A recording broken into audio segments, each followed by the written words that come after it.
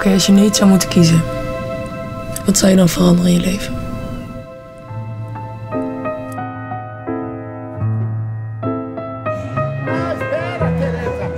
Lonnie over here is me. I can still Everything seems normal.